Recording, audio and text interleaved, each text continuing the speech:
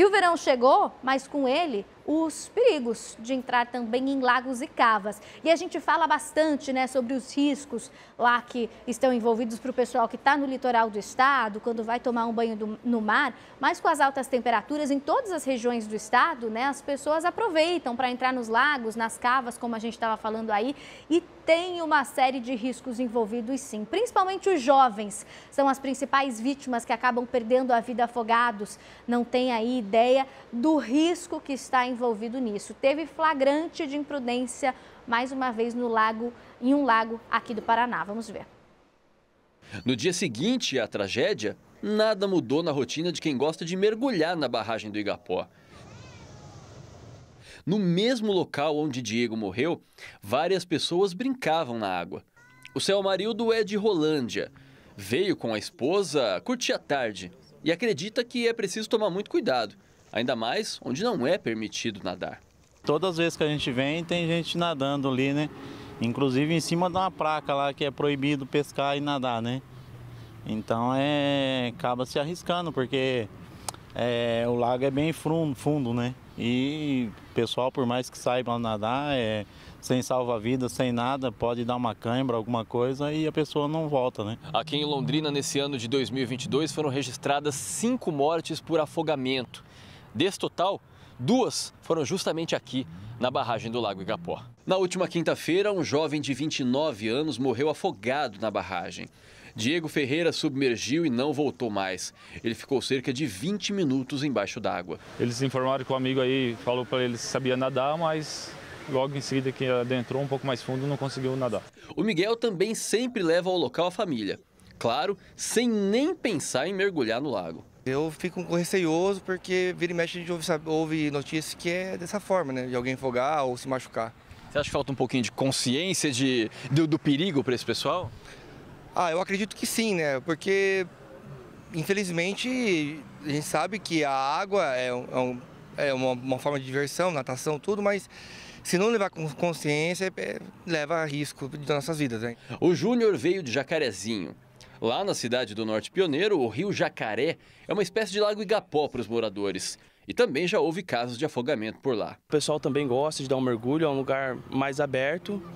E também acontece fatalidades lá, infelizmente. E, e lá, infelizmente, não tem ainda uma estrutura para restringir isso, né?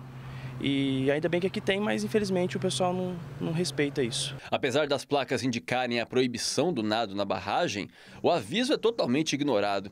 O Corpo de Bombeiros lembra do perigo e pede para que as pessoas evitem o ato. É um local proibido, né? Segundo a, tem, é bem sinalizado, tem placas advertindo isso.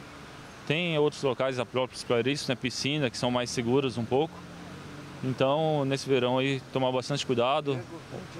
Vai nadar, vai fazer alguma atividade, sempre no local onde é conhecido, né? E se souber nadar também, né? Senão aí com a ajuda de outros instrumentos, colete e outros instrumentos que pode te auxiliar e sempre no local seguro.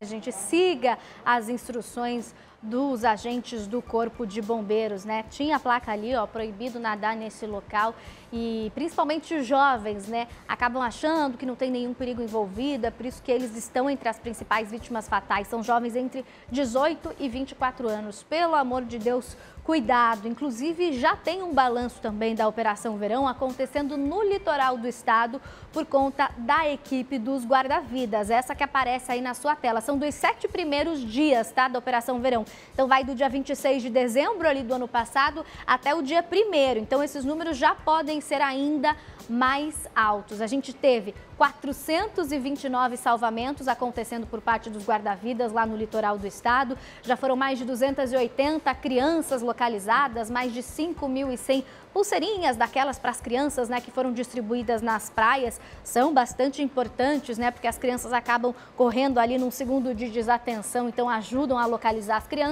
E aqui no canto direito ali da sua tela você vê a quantidade de óbitos. Já foram cinco óbitos registrados no litoral do nosso estado e veja, todos eles em áreas não protegidas pela equipe do Corpo de Bombeiros. Ou seja, não é para você nadar naquele local, né? Existem perigos envolvidos, tem toda a demarcação ao longo da praia por parte da equipe do, dos salva-vidas, né? Quando tem a bandeira preta ou a vermelha naquele local não entre de jeito nenhum no mar. A bandeira preta, inclusive, significa que a equipe de salva-vidas não está fazendo ali a segurança naquela localidade. Então, se você entrar no mar e acontecer alguma coisa, o atendimento vai ser muito mais demorado.